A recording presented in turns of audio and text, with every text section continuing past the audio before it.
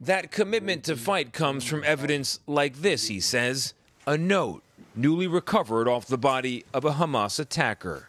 This is what it says The enemy is a disease that has no cure. Why was it so important for you to show it to us today? Because the world needs to understand it's not an issue of Palestinians and Israelis. It's an issue of a crime against humanity.